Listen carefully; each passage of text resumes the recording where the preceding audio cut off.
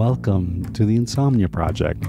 Sit back, relax, and listen as we have a calm conversation that, of course, is meant for you to drift off to sleep.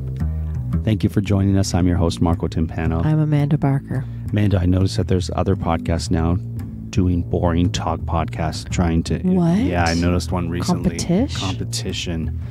Competition. That's okay. That's all right. There's room at the table for everyone. There is, there is, and I I like our conversations. I have to say, I've listened to a couple of other ones, and it's like, mm, feels a little forced. Not us. Not us. As natural as the day we were born, friends. Well, I wouldn't say that. We're wearing clothes, folks, in case you're wondering. But- Barely. But, that said, Amanda, you uh you have said, are we going to do another listener topic? And I yes. said, and and here's how it works, just so everyone knows. Mm-hmm. I have no idea what he's going to spring on me. and what's funny, listeners, is I sent Amanda an email with all the listener topics. Okay. Do you want me to look it up? No, it's fine. I'll just tell you. No, But- I, I thought you're just going to introduce it. That isn't that part of the charm that I don't know what's happening. No, part of the charm is you looking at topics and then saying, "Oh, let's do this one." Oops. There you go. Well, we have Diane B has asked us to do an episode on olive oil, different kinds, and what goes on salad with regards to the oils that we use. I would like my mother to listen to this episode once when all is said and done. I can tell you that right now. Okay, so maybe we can get it to She's her. always like, I bought you olive oil for the salad. Like she doesn't understand the concept of oil on salad. Should I explain? yeah, because I I'm a little confused. My mother has olive oil for cooking, right? For her, it's just for cooking. And she Okay. doesn't really differentiate between tastes. And I'm sure we'll get into all of that. Sure. But for salads, she would never put oil or, and vinegar together on a salad. She would buy a salad dressing that sounds interesting to her, try it out, find one she likes. She's not a person that puts that on. Like she'll only buy, she'll only put a bottled salad dressing on a salad I see. for as long as I've known her. Right. Anyway, she And- might tell me I'm wrong that she, oh no, she had her red vinegar days. I have no idea. But right. certainly in the last 30 years, Right. that's it's just been bottled salad salad dressing that she buys and likes. I've actually seen Amanda's mother saying, "But you like this salad dressing," and Amanda saying, "I've never liked this salad dressing." There's one that she loves, and it's great. I, I like it, but it has raw garlic in it, and it raw garlic is a little harsh on my stomach, Sure. and so I always get stomach pains when I eat it. So I tell her, please leave it off, and she makes a big production about leaving it off. And then I say, do you just have oil and vinegar? I could just do that. And then it becomes a whole thing of where's the oil and where's the vinegar. That's what Mandy needs on her salad. Right. Right. But today we're talking about olive oil. We are, or we're trying to. We're trying to. And uh, I used to do tours in olive uh, groves and at olive presses. So and- why don't you? Because you really are the aficionado, aficionado Sure. or nadio on this topic. Why don't you start by telling our listeners because you did tours all throughout Italy. Right. What part of Italy did you do the olive oil tours in? It was in Puglia. So that's where the, if you look at Italy like a boot, the heel. The heel of the boot, That's not right. to be confused with the toe of the boot, Right. which is where some of your family is from. That's correct. So Okay. I was doing it in Puglia, but there's olive, like olive growing areas all across Italy. In, in particular, Lucca in Tuscany. Oh is, right, Luca is- with two C's. Right, is really well known for its olive oil. Uh, so, having said that, Puglia produces more olive oil in its in that province than any other region, Mm-hmm. and they export a lot of olive oil that then gets cut with French olive oil French? sold. Yeah, the Oh, the French will buy olive oil from Puglia, cut their oil with it, and so that they when you say cut, what you mean is mix. mix. Yeah, Okay. yeah, they cut it or they they mix it because they they might not have enough supply, so they'll get some supply from there. Does that make sense? It does, yeah. Not everyone uses that term "cut." That feels like a, a a chef term or a drug vendor term, frankly. Sure, pick what you want and use it to your liking. But uh, so, is French olive oil not as good as Pugliese no, I olive would- oil? I wouldn't say that. I wouldn't say that. I'll the say French this. have great olives, do they not? France has wonderful olives. I I mean, w- wonderful food. Let's not. I'm not going to disparage France or their culinary products because they're certainly fantastic. Diane, m- Amanda's trying to paint me in a corner. Uh, trying to oil you in a corner. She's trying to oil me in a corner, and that's not going to happen. You're slippery. What I will say is this. So, when it comes to olive oil, a good quality olive oil that is, all, you know, virgin, extra virgin olive oil. And what does that mean? Because a lot of people don't know what that means. I mean, okay, so let me start by It's a press, right? no. It's so it means a couple of things. Uh, you're you're you're making me try to think to remember what what I what we would learn, but so the olives have to be picked and pressed right away. Okay. They can't. They cannot be, you know, sitting on the ground for a long time, or you can't pick them and press them the next day. You're basically picking them or shaking them So off if you tree. pick them fresh, get them off the tree, go right into the press, that would be virgin olive oil. and the first pressing of it, Is virgin. right? Okay. Because you can press, you can press the olives even more, second pressing and whatnot. I see. I see. and extra virgin olive virgin olive oil should have a peppery feel to Mm-hmm, it. So if you have a, a taste of it should look greenish. Like you know, some olive oils look very yellow, Yeah. and uh, for me, that's not that's not a, a great quality olive oil. Okay. So Diane B asked about olive oil. So I'm going to give some of my olive oil tips. Great. Uh, You recently got a really high quality olive oil as a gift. I did. It was a secret Santa present. Um, and when we have our, not secret Santa, um, what are they called? Like swap, um, Yankee swap, I think they're called sometimes. Um, but anyway, the at the Christmas party where you draw numbers, and if you're one, you go first, and if you're ten, you go last. If there's ten people, and so I went first, and I, which is not enviable because anyone can steal it from you. And I usually traditionally go for the bottle. So, assuming, okay, it'll be a bottle of wine or liquor, and you can't go wrong with a bottle. I didn't go for the bottle. One year I went for the bottle, two years ago or three years ago. And in the liquor bag was a book and not even a good book. So I was not happy with that. And then last year I went, well, I'm not going to get tricked again. So I didn't go for the bottle. And it was this beautiful bottle of bourbon that I really wish I had grabbed. So this year I was like, okay, I'm back to my strategy. Just go for the bottle. And you know, you, it's hard because you don't want to if you don't like it, the person who put it in the pile will be upset and all these things. So I really thought it was just a bottle of wine. And then I pulled it out and it was a bottle of olive oil. And I was like, olive oil. And at first I was a little bit like, huh. And then um, a new gal that works with us, who's from Holland, said, it's really expensive in her little voice. And I looked at it and she said, I got it from Italy. And I was like, oh, yeah. And she goes, I actually, and I said, believe me, I'm, I'm actually very happy with olive oil. I will always use olive oil. Right. Even though you were a little bit snarky off the top. Well, I was trying not to be. I just wasn't Prepared. expecting Right. it to be a bottle of olive oil. What? no, no. I, Yeah. Then Amanda brought this olive oil home, and I couldn't be happier. Mm-hmm. So, just to clarify, Amanda, because I want to make sure that I, I, I give the totality of what extra virgin olive oil is. Okay. It's made from the first cold pressing Mm-hmm. of the olives and contains the least amount of fatty acids, 1%. Okay. It's the most fruity tasting and the most expensive of oils. Now, to me, olive oil doesn't taste like fruit. Mm-hmm. It has a peppery feel on the tongue. That's how I know. Absolutely. So that's Yeah. that's that's how I I distinguish it. But maybe for you, you taste the olives or you taste floral notes. No, it for me it's peppery. I meant our listeners. I meant oh. for Oh. for you, the listener. So not for you. For Amanda. Uh, one. For one. Now, olive oil or pure olive oil is a combination of refined olive oil and extra virgin. So you might be saying, what's refined? Right.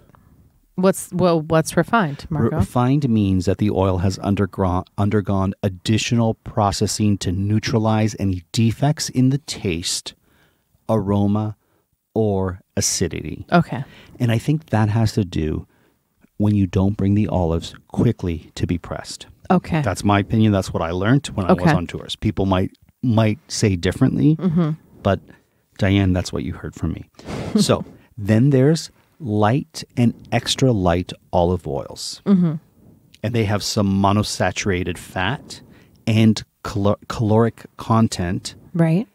as olive oil. Here, light means the blend of refined and extra virgin oils, leaning heavily towards the refined. Okay. So the color, the aroma, the flavor are lighter and they're lighter relative to, you know, the greener, deeper olive oil colors. Right. Right. They look more like a um, safflower oil Yeah. or a, a Yeah. vegetable oil.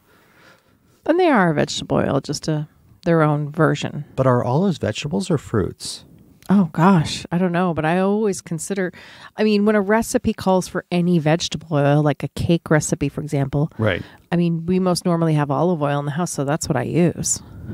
You use olive oil in your cakes? Yeah, I mean, if I have um, you know, a safflower oil or grapeseed oil or something else, then I'll use or avocado oil. I'll use it, but we often don't have it. We often just have olive oil, so that's what I use. Okay. So, and you can make cake with olive olive oil. Of course sure. you can.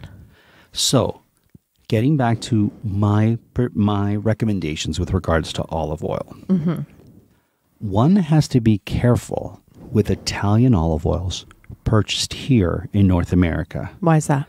because Italians can be a little bit mm, how do I say this? I don't know. Deceptive with their oil. What? So they will uh, keep gr- very fine extra virgin olive oil for themselves, and then they'll cut Or mix. Olive oil with other oils that aren't even olive and send it across the pond. So they could easily take like sunflower oil and olive oil and say, "Here's our olive oil." they could even take lamp oil and put no, it in. Well, no, not Marco, lamp oil. No, but, I hope not. no, Don't but- tell our listeners No, that. but it's like they're at just at this point in the podcast, they're just cutting it would with stuff. Okay, so I'm very cautious with my olive oil from Italy because I need to know who's bottling and if they're not if they're reputable. how how do you know these things? Is there an olive oil police? Okay, before I get to that, let me just say this. California has some delightful olive oil and they do a really good job. So I like California olive oil. I like olive oil from Israel. Yeah. I like olive oil from, you know, there's a lot of olive oil coming from Spain, mm-hmm. from Portugal, mm-hmm. from Greece, from, mm-hmm. you know, I'm always I'm always cautious with European olive oil. After what I heard that that happens, Right. because you know, extra virgin olive oil is expensive and is time consuming and the process, you know, you know, takes time and and but so Italians the yield also take great pride in their wonderful olive oil. Right, the reputable people do. Yeah. But there's a lot out there who will cut it. So, if you're like, if you're like, but I want Italian olive oil because I like the taste, because Italian olive oil is really delightful when you get good olive oil. My recommendation is go to Costco if you have one, because Costco is much like what you said, the olive oil police, where they ensure that their products meet their standards, and so the olive oil uh, makers would have to meet Costco's high standards. So, and they, are you talking about the Kirkland brand, the Costco brand of olive oil? the Kirkland brand comes in Spanish and Italian. Both are fantastic. Okay. Then they have non-Kirkland Lake brands. So Kirkland, I believe, is the uh, Costco label, Yep. and I pers- personally like a unfiltered olive oil, and the brand name happens to be Il Grezzo. And Il Grezzo is the brand name, but it's unfiltered, so it looks a little cloudy at the bottom. But I don't know that our listeners all over the world have access to this. I mean, Costco is very um, regional. Right. So then, if you don't have access to a Costco, Well, they might have a Costco, but it doesn't mean that they'll necessarily have Il Grezzo. sure, but I would argue that their olive oil, even if it's not their brand, is going to meet the standard. Okay. So if you buy your olive oil from a Costco, great. Mm-hmm. Otherwise, I would recommend getting your olive oil from a place that sells that deals in that kind of stuff so that it's not like your grocery store where they have a lot of different products. Mm-hmm. But when you deal with, let's say, a specialty store like an Eataly, Mm-hmm. they're going to have purveyors of good quality olive oil.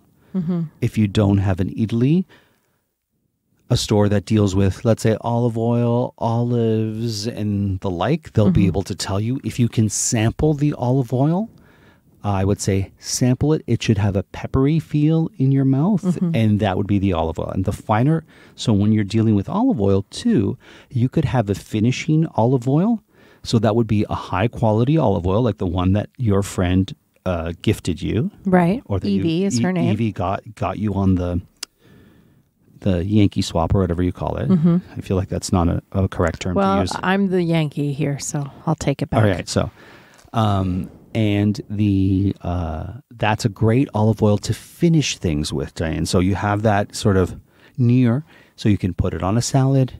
Or if you've baked some fresh bread and you've cut it and you're going to serve it, put a little olive oil on that. It's so good. I I purposely have not been using. We're out of our El Grezzo right now. I do have some avocado oil that's in a spray, hmm and then I obviously have the really good stuff that I got that we're about halfway through. So I don't use it for cooking. So what do you use that finishing olive oil for?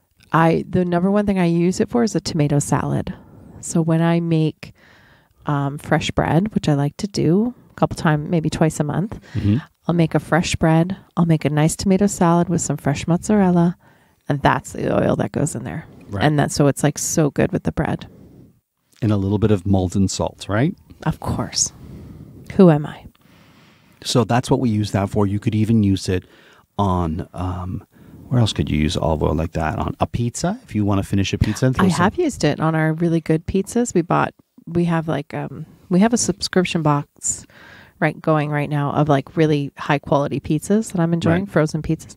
And so they all say well, not on all the pizzas, but certain pizzas they say finish it with a little bit of olive oil. I would argue too. You know how a lot of people will take the crust of pizzas and then they have some sort of dipping sauce, a Yeah. jalapeno mayo type dipping sauce or, Or whatever. garlic, yeah. If you have fine olive oil, Mhm. you don't need those dipping sauces. You could just wave a little bit of that olive oil. If it's the- a good Italian pizza, I'm with you. If it's like a sort of mass produced pizza, which to me is like a totally different beast, then I want the pre made dipping sauce. that's Amanda for you. Like American and Italian. Right. I, on the other hand, prefer to just eat the crust or a little bit of olive oil. Well, aren't you superior to me? No, just different strokes for different folks. That's why they call it a Yankee swap. I guess. All right. So then, what do you if you if you save Evie's oil for finishing? Yeah. What do you use the Il Grezzo or the Kirkland Lake olive oil for in your Pretty much life? everything else. It's just I'm out of it right now. Okay. So, what would you be using it for? Uh, I use it to saute. Okay. So gar- if I'm making anything, you know, a sauce or soup, whatever, very often you start with garlic and onion, right? Mhm. So when I'm sauteing either garlic and or onion, that's gonna go in with olive oil. now, if you're frying something and you Mhm. don't usually fry, what oil are you using? Right now, avocado oil. Okay. Yeah, and that's usually what we have. That's Right. usually what I'll I'll use to fry because it has a higher smoking point, right? Right. So that's Smoke the thing. point, yeah. yeah. Or you, is a smoke point or smoking? Sm- smoke point, I believe, is the term. Um, in other words, that's why you don't really fry in olive oil because it can pop back out at you. Like, you know, you want an oil that can sustain a high temperature. And then when you put the whatever it is you're frying in there, um, say the fried chicken or the arancini or whatever it is, when you fry that in, you want it to just latch onto the food and fry it versus, you know, bubbling and spitting back at you Right, right. So for or me, smoking. right, right. Because smoke point it refers to the temperature when the oil starts to smoke, Yeah. uh, which it which it will reach before its boiling boiling point. Right. So you, you know, uh, if you're if you're using something that's like a quick a quick cook, you Mhm. it doesn't really matter. Like if you're gonna do eggs, let's say, Mm-hmm. right? But uh, you know, you want to make sure. So like uh, low smoking oils would be like pumpkin seed or walnut or flaxseed. You don't want to be using those. No, no. Right. Those are really just made for eating, I think. Right, right. Or finishing For or salads and right, like of course. that. Yeah, like walnut oil, yeah. Yeah. So um, the last thing I wanted to say about olive oil is S- in some places, olive oil can be used even on dessert, Amanda. Oh, really? Yeah, I've Tell me more about like, that. Like you could have a gelato and put a little bit of olive oil on it. Oh. I've actually had olive olive oil gelato years Really? ago. Yeah, they. I didn't love it, but it was really interesting. Mm-hmm. I was at a very, um, let's say, fancy restaurant that they were doing like avant-garde things with Right. food, and I had it there, and I was like, "Oh, this is interesting." But olive oil has, I mean, we've used olive oil for so many things for dry skin. Uh, you know, a ta tablespoon in a bath um, will soften your skin. Sometimes I'll just put it on my face. I like to mix old coffee grounds with a bit of olive oil and make a little mask out of that. It's really hydrating and wonderful on on the skin. Um, it's also olive oil is great. You know, I've used it. To be honest, I've used it on leather more than once. Um, like on my boots, my black leather boots. I've used olive oil. I will use it for a couple things. So I'll use it. So here's a couple things that I, I want to mention. One, olive wood likes olive oil. Okay. So if you have utensils that are made of olive wood, or let's say you have a um, cheese board or cutting board that's made of olive wood, and you know when you're cleaning it, and maybe you kind of uh, use a bit of soapy water to clean it, you don't want that wood to dry out. No, exactly. So what you would do is take a bit of olive oil and rub it on that wood, and the olive oil will kind of seep into the nat. It will oil the wood and keep it looking good and fresh and uh, not oil, not old or like rough looking. If that makes sense. Yep. And, it, and it'll preserve those utensils or that cutting board or Right. that bread board or whatever you want to call it. Mhm. So that's one tip. The other thing about olive oil I'll mention, and this was this works for any kind of oil. If you're going to paint the house, the a wall, window, or whatnot, well, not a window, but you know, if you're going to paint, and you, and you know how paint will sometimes splatter on your hands as you're painting. Mm, yeah. What I always do is I'll take some olive oil and rub it in my hands Oh. like a moisturizer, pre-rub before I paint. Oh, really? And then if I get little paint droplets that land on my hand or my arms, Mm-hmm. they don't stick because they're on an oiled arm or hand. Oh. And so when I wash it off, the paint easily comes off my skin. Interesting. Yeah. I know your mother used to use it for diaper rash. Oh, Uh, really? For her, yeah, I believe so. For our niece, uh, Probably on me too. Probably on you. Yeah. Um, because you know there's different creams and um, that you can use for for diaper rashes, but sometimes kids just from wearing the diaper, right? It's rough on their little baby skin, Right. and so you just want a healing balm of some kind. And um, there's there's lots of products out there, of course, but if you don't want to use a petroleum based product, Sure. uh, and maybe you're using a Bacitracin or a Desitin or you know one of those white sort of things. Um, but if it's not that advanced and you just want something other than like Vaseline, Sure. um, then olive oil is a great solution. There you go. Your mom used to use it all the time. Yeah, I remember. Wow. And I thought, well, that's that's really smart. I mean, you can't argue with olive oil on a baby's skin, right? I, I don't try to argue with olive oil on the best of days. Well, I don't argue with our niece when she was a baby, and I certainly don't now that she's a teen almost. so, Amanda, how often would you say you consume olive oil? Oh my goodness, probably every day. Mm-hmm. Don't wouldn't you say? Remember I went to a holistic um, doctor once, and she told me I needed to have like a tablespoon of olive oil a day.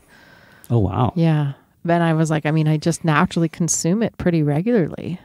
We do. I know we do. It's our oil of choice. It's our sure. oil, of, oil of choice. So, Diane B., I hope this episode answered some of your questions with regards to olive oil. I'd love to know what people's oil of choice is. Like, I just assume everyone's out there using olive oil for all these things, but maybe not. Of course, let us know what your oil of choice is.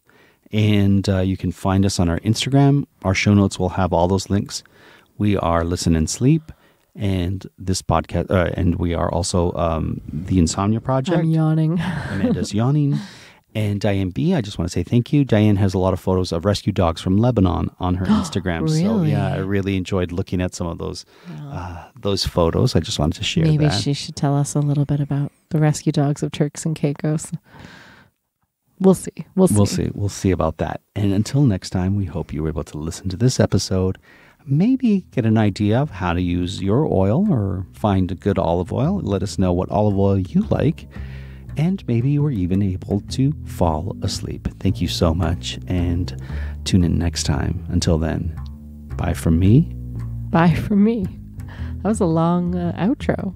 Well, I'm trying to get to 26 minutes. Oh, are we not there yet? No, not quite. And you you were yawning, so I figured we I should, apologize. It was I putting me to sleep. I figured we should get to the end. All right. Until next time, folks.